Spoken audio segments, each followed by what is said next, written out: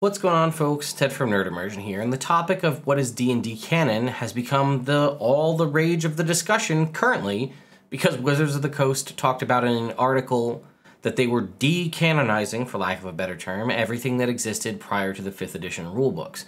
So that's everything prior to 2014 all of that has been decanonized. Now, there's an article that was written uh, that was kind of originally announced in an interview.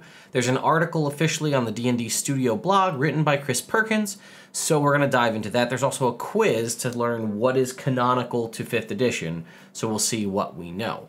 Now, one of the things that I wanted to talk about just a little bit is why I think that I have opinions, I guess I should say, and obviously I'm entitled to said opinions, but I wanted to talk about why I have the opinion that I have in just a sec. Before we do that though, I wanted to talk to you about the sponsor for today's video, our good returning friends at Dscryb. If you're unfamiliar with Dscryb, Dscryb is an online tool to add immersive box-style text to your campaign to save you time as a DM and also provide, uh, have a whole team of writers in your back pocket to pull out that what's that descriptive thing you're trying to say without actually being able to come up with it yourself. See, there's a seduction line about learning magic. That's a new one. Goddess of the Moon. There's magic items, places, locations, situations, characters. And because we're talking about canon, I thought it would be fun to read a pirate ship one. So, with plenty of sail for holding the wind and cannons specifically positioned to best rake the hull of a fat trading galleon, this pirate ship is a sleek predator in a sea chock full of the buccaneer's prey. For when a lookout on such a hapless vessel spies the Jolly Roger flying proudly from this mainmast, their captain knows that surrender or death are the two most likely outcomes for the day. So again, Dscryb has a variety of different pay methods where you can choose to go monthly, yearly, and pick and choose what you want or just get everything. And if you use the link in the description and coupon code NERDIMMERSION, you'll get 10% off your first purchase. So let's dive right into this article. It came out literally today. Uh, I guess it came out yesterday, actually, but I didn't hear anything about it till today because Wizards of the Coast doesn't do a great job promoting their own stuff. So, I'm Chris Perkins, one of the studio uh, principal game architects, worked on Curse of Strahd, Icewind Dale, Wild Beyond the Witchlight. In this short blog post, I will describe our studio's position on canonicity.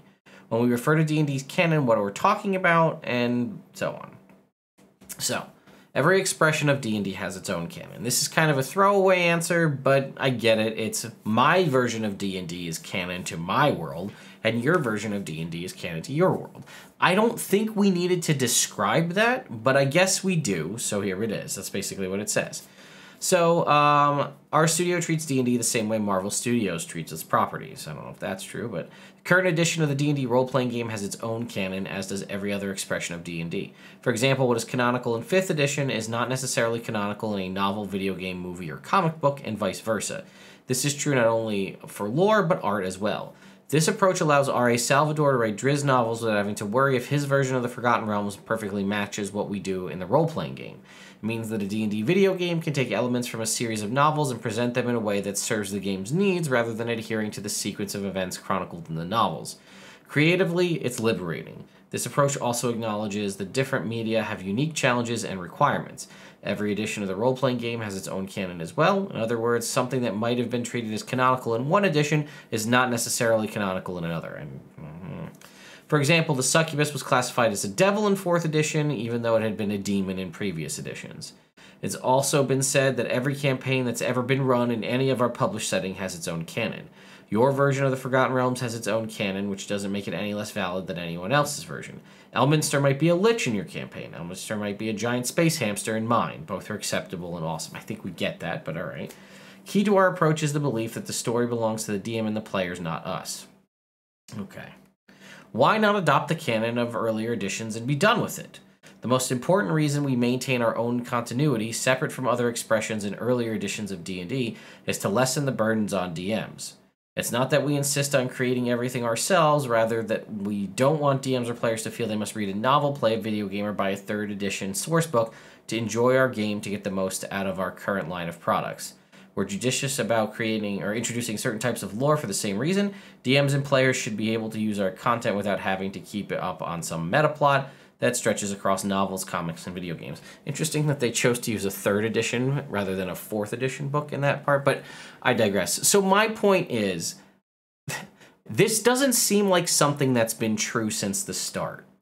Because there was an entire series of novels. So, this is something. Okay, let me just wax poetic about this for a little bit here. So, over the course of the editions, and this is why I think a lot of. I, I think we all can accept, right? And if we can't, I have no answers for you. But I think we can all accept that their everybody's canon their game is canon to their own game. I think we can all understand that and I get that and that's fine.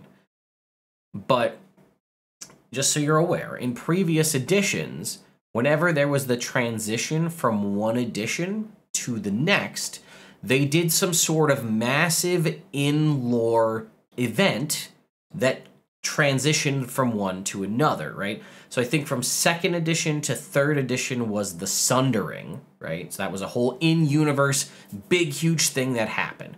But that would allow them to change things from second edition into third edition and sort of make it make sense in terms of the lore. And then from third edition to fourth edition was the Spell Plague. And that, again, there was a lot of stuff going on there, and that explained a lot of the ways that magic and things changed from third edition to fourth edition and the novels and all the stuff reflected that. And then they went through, I think it was the second Sundering, was they developed a whole series of novels across by written by multiple authors to transition from fourth edition to fifth edition. And that supposedly, originally, again, maybe this all got changed, I don't know, was originally supposed to be, as far as I can recall, why magic items and things are so few and so rare in 5th edition because of the spell plague that happened in 4th edition, wiping out a lot of magic across the, wor- the world, and then the second Sundering bringing on 5th edition canonically lore wise.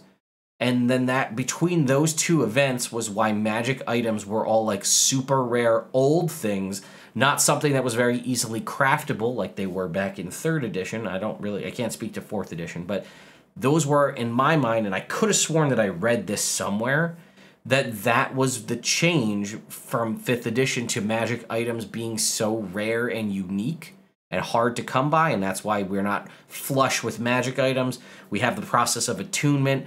Like in older editions it was like a video game right? I had a head slot a neck slot a chest slot a armor slot a shoulder slot all these different slots for magic items and i could have one on each slot there was no such thing as attunement I was just limited on things, and then sometimes you get really lucky and get what was an unslotted item, like something like uh, like maybe you get like an anklet, a magic anklet, and it didn't take up a slot on your body. It just was a new item that you had.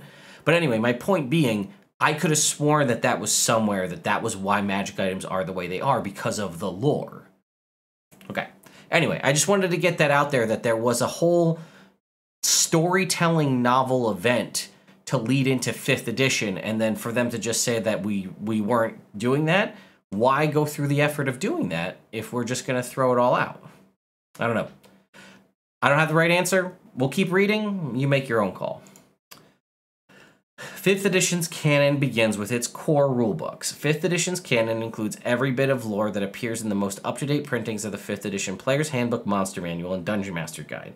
Beyond these core rulebooks, we don't have a public facing account of what is canonical in 5th edition because we don't want to overload our creator. So, apparently, if it's not in the player's handbook, the monster manual, or the dungeon master's guide, it's not canon either. So, even all of the adventures and all of the source books that have been released since those three core books are technically not canon. The only existing canon for us, the layperson, is the core rulebooks. If you're not sure what else is canonical in 5th edition, let me give you a quick primer. Strahd von Zarovich canonically sleeps in a coffin, as vampires do. Menzoberranzan is canonically a subterranean drow city under Lolth's sway, as it has always been. And Zariel is canonically the Archduke of Avernus, at least for now. Conversely, anything that transpires during an Acquisitions Incorporated live game is not canonical in 5th edition, because we treat it the same as any other home game, even when members of the D&D studio are involved. See, that throws me off because I believe it is either in the Sword Coast Adventures Guide. I think it's in the Sword Coast Adventures Guide. They reference Omin Dran as an open lord of Waterdeep. But I guess because Sword Coast Adventures Guide isn't the core rulebook, then it's not canonical?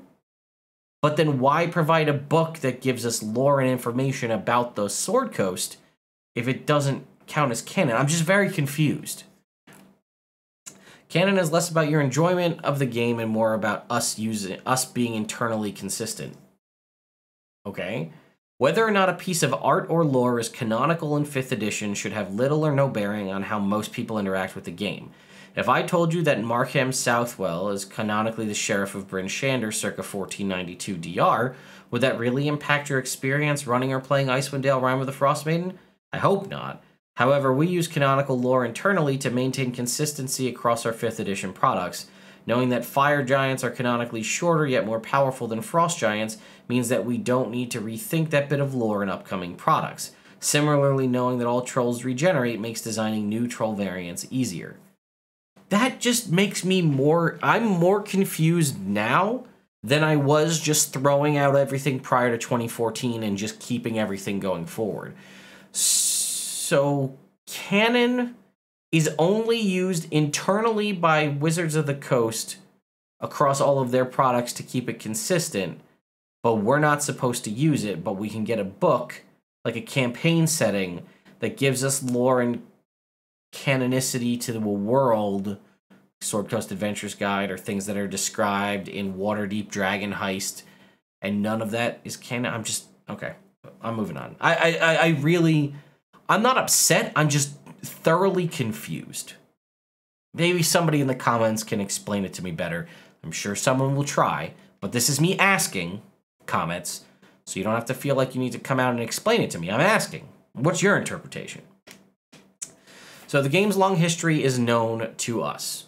Those among us who are fortunate enough to become shepherds or stewards of the D&D game must train ourselves to become art and lore experts so that we know we're being faithful to the game's past and we're moving in new directions. We decide, based on our understanding of the game's history and audience, what artwork or lore to pull forward, what artwork or lore needs to change, and what artwork or lore should be buried so deep that it never rises to see the light of day. We have a couple of guiding principles. If the artwork holds up or the lore has been true in every past edition of the game, we think twice about changing it. If the artwork or lore hasn't withstood the test of time, we can update or discard it. The number of eyes on a stock beholder has been consistent throughout D&D's history. No need to meddle with perfection, I say. On the other hand, if you're familiar with the old maps of Waterdeep, you might recall that one of the seedier avenues was named Slut Street. When we updated the map of Waterdeep Dragon Heist, we gave that street a new name. The old name was never good to begin with and does not stand the test of time. And then take the 5e Canon Commando quiz, which we're going to do. All right, I, I'm still a little a little confused, um, but we're being faithful to games past while we're moving in a new direction. We decide based on our understanding. See, that also makes me. There used to be a part of the Dragon Plus pod or the Dragon Talk podcast with Chris Perkins, sometimes Matt Sernett and other folks called Lore You Should Know. And then I guess they're not, I don't think they're doing that anymore. And I guess that's because you shouldn't know the lore because it doesn't count. I'm just, okay. So, for each question, choose a correct answer. Uh, Stock Beholder has 10 eyes. Which of the following is not a canonical domain of dread? I'm gonna say Las Vegas. Which of the following cities is not a member of the Lord's Alliance? Albuquerque. In 5th edition, where do Modrons come from? Mechanus. What has caused the cataclysm known as the Mourning? Uh, and I'm going to say, I think we don't know. Okay, so. Wait a minute. Oh, 11 eyes. I'm a dummy. I forgot the central one. You big dummy. I thought about the eye stalks. I didn't think about the central one. Las Vegas, Albuquerque, Mechanus, we don't know. Okay. So I'm hereby permitted to apply for open positions in the D&D studio because I got that one wrong because I'm a dummy. I don't know, folks. Take it with a grain of salt. I'm just confused. Me personally, I get it. I, I fully understand the concept of wanting to, quote, lower the bar of entry meaning that like you don't need to understand 50 years worth of canonicity, novels, obscure source books, conversations Ed Greenwood had in his kitchen. Like you don't need to know all that stuff to understand. And I I think that that makes sense. But I think the process of what we just saw of like you can like I could pick up I could go to Barnes and Noble or Amazon or wherever and I could pick up a Sword Coast Adventures guide. I know there's really no reason to do it because they seem to just dislike that book. And I could read through that and it tells me the lore of the gods of the Forgotten Realms and what happened to the gods. It tells me about the history, it even talks about the sundering, the spell plague, all that stuff in that book. But per this article, it's not one of the three core rulebooks, so it doesn't count. I just, I don't know. Anyway, I love you guys, and you're great, and I hope you have a wonderful weekend. Uh, I mentioned it in the last video, but I'll mention it here again. I have a bunch, and I forgot to bring them down here again. Damn it. I have a bunch of Nerd Immersion stickers, like laptop stickers, high quality laptop stickers that I bought, and I would love to share them with all of you. Now, if I have leftovers, I'll, I'll either, I'll order more before I go to Gen Con, so I'll have some with me there. But in the meantime, if you want to mail me a self-addressed stamped envelope, so if you're unfamiliar with that process, you take an envelope and you write, uh, you know, you write your address on it, and you write my address in the corner, and you put a stamp on it, and you stick that inside an envelope that you then mail to me, then I open up your envelope, take out that one that's already got the stamp, self-addressed stamp, that's that part. I put the sticker in, and I send it back, and you get a sticker. If you want to include a note or anything else with that, you're more than welcome to, but you don't have to. I've got these stickers and I want to get them out in the world so that we can spread nerd immersion. And then, hey, if people start seeing that symbol, they'll be like, what's that? Push more people to the channel. So, also, hey, if you haven't subscribed, consider doing so. Thank you, Dscryb, for sponsoring this video, and I will see you all next time.